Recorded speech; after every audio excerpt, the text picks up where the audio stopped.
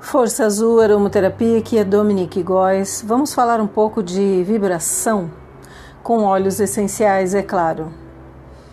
O alecrim, ele tem uma palavra que define ele, lealdade. A realização da verdadeira lealdade. Somos fiéis a nós mesmos. E a verdadeira lealdade é a conexão do coração com a alma. Trabalha na pele, no sistema circulatório, nos músculos, articulações, no sistema digestivo, sistema respiratório e o sistema nervoso. Não deve ser aplicado em grávidas e pessoas com epilepsia.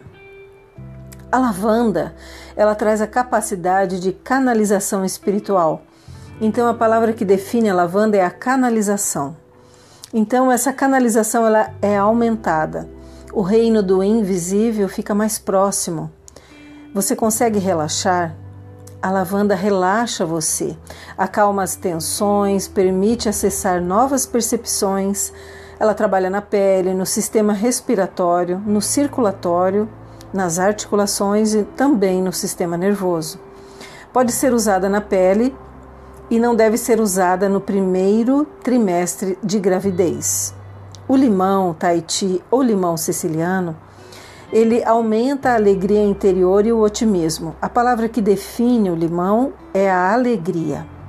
A nossa expressão descongestiona e se abre para novas possibilidades. Sentimos um calor nutridor com sentimentos de paz. Trabalha a pele, sistema circulatório, digestivo, respiratório e nervoso.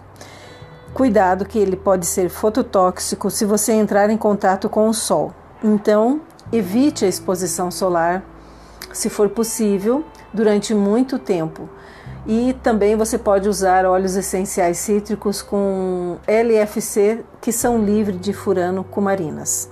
Mais informações entre em contato. Gratidão, paz e luz e até o próximo vídeo.